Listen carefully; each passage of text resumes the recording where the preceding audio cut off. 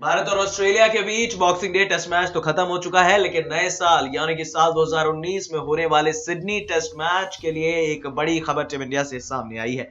आपको बता दें कि टीम इंडिया से बाहर हो चुके हैं चौथे टेस्ट के लिए रोहित शर्मा। जी हाँ हिटमैन, जिन्होंने बॉक्सिंग डे टेस्ट मैच की पहली पारी में शानदार तिरसठ नाबाद रन बनाए थे, वो चौथे टेस्ट से बाहर हुए हैं।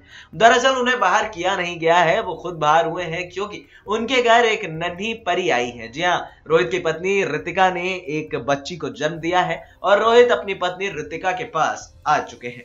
बड़ी बात यह है कि बीसीसीआई ने ट्वीट कर खुद इस बात की जानकारी दी और उसके बाद अब रोहित शर्मा 8 जनवरी 2019 को टीम इंडिया के साथ जुड़ेंगे और वनडे सीरीज़ में ऑस्ट्रेलिया के खिलाफ मैदान पर उतरेंगे। देखना होगा कि रोहित शर्मा साल 2019 में किस तरह से प्रदर्शन करते हैं। नेक्स्ट नाइन स्पोर्ट्स डेस्क से अभिलाष पांडे की रिपोर्ट।